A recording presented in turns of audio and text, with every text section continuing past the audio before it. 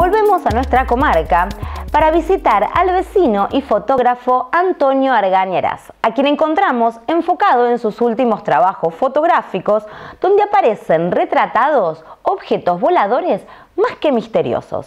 Los invito a que veamos de qué se trata. Me puse a sacar unas fotitos en la ruta, de hobby nomás como siempre.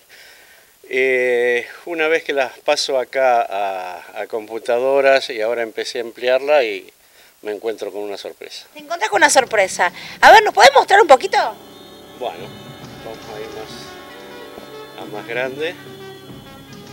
Bien, eh, no sé si alcanzan a ver acá esto, estas cuatro marquitas que hay acá. ¿Esta foto de dónde está sacada?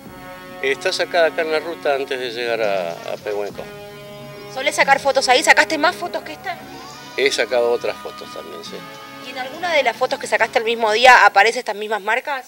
No las he visto. No las visto. Solo en esta foto salieron. Eh, parece que sí. Eh, igualmente después vamos a ver, este, tengo el mismo, más o menos el mismo lugar. Y este, después vamos a ver, ampliamos otra. A ver, vamos a ampliar un poquito donde se ven esas cuatro marcas ahí.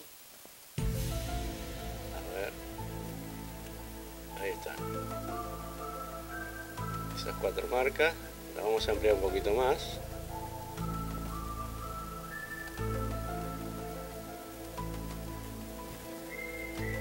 Ahí está, empieza a verse mejor.